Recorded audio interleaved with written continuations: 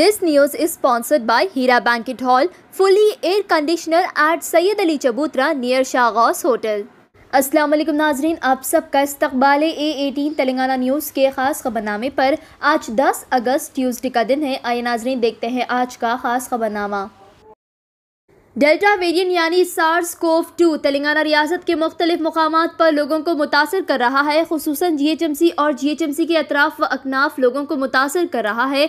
आवाम से लगातार गुजारिश किया जा रहा है कि वो वैक्सीनेशन करवाए। कोविड नाइन्टीन प्रोटोकॉल्स को फॉलो करें। फ़िलहाल तेलंगाना रियासत में कोविड नाइन्टीन केसेस काबू में हैं, लेकिन कोविड नाइन्टीन पर लापरवाही से दोबारा केसेस में इजाफा हो सकता है।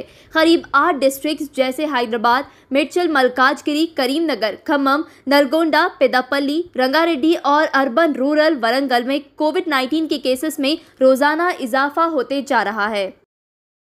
तेलंगाना की सियासत में अचानक बदलाव देखने मिला। बाईपोल इलेक्शन के मद्देनजर दलित कम्युनिटी के एम्पावरमेंट बढ़ावे को ज़्यादा तरजीह दी जा रही है तेलंगाना में। चीफ मिनिस्टर के चंद्रशेखर राव, जो केसीआर के नाम से जाने जाते हैं जून के महीने में आने वाले बाईपोल इलेक्शन के मद्देनजर दलित बंधु एम्पावरमेंट स्कीम का ऐलान किए, जिसके तहत उन्होंने 10 लाख रुपए देने का वादा किए हर दलित शख्स को डायरेक्ट बैंक ट्रांसफ़र के ज़रिए।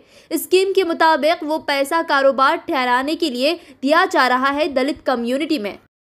करीब 60 मरीज़ मोनोक्लोनल एंटीबॉडी कॉकटेल थेरेपी ले रहे हैं गांधी हॉस्पिटल में, वो भी मुफ़्त में, जिसे कोविड 19 के खिलाफ लड़ने में आसानी हो रही है।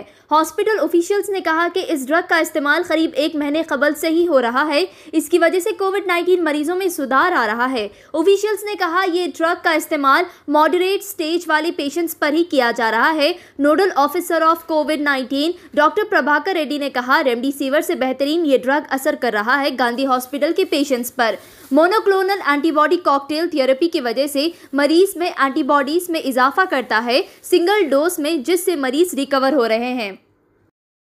एक्टर प्रकाश राज को एक छोटा सा फ्रैक्चर हुआ है, गिर जाने के सबब ट्यूसडे के दिन एक्टर ने ट्विटर के ज़रिए बताया एक्टर फ़िलहाल हैदराबाद के प्राइवेट हॉस्पिटल में इलाज करवा रहे हैं और उनके फैंस को बताया कि उन्हें छोटा सा फ्रैक्चर आया है और फ़िक्र करने की ज़रूरत नहीं है। उन्होंने गुजारिश की है फैंस से कि उनके लिए दुआ करें।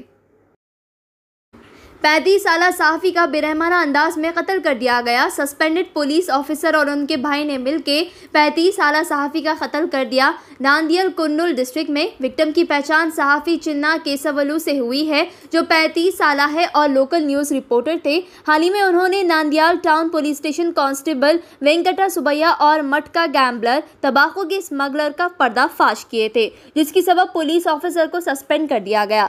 पुलिस की तहकीकात में पता चला कि सुबैया अपने सस्पेंशन से नाराज़ था, जिसका बदला लेने उन्होंने सहाफ़ी का कत्ल करने का प्लान बनाया और उनका कत्ल कर दिया।